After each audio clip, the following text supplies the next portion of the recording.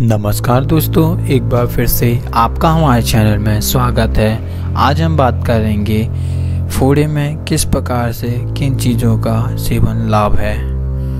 आइए जानते हैं। फोड़े की पहली हालत में नीम के पत्ते और बीह के पत्ते पानी के साथ पीसकर लेप करने से बैठ जाते हैं।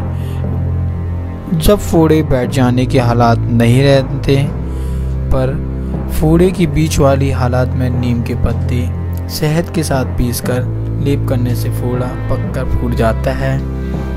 फूट जाने के बाद नीम के पत्तों को पीसकर घी के साथ गर्म करके लेप करने से घाव सूख जाता है। दोस्तों, उम्मीद है जानकारी पसंद आई होगी। धन्यवाद दोस्तों।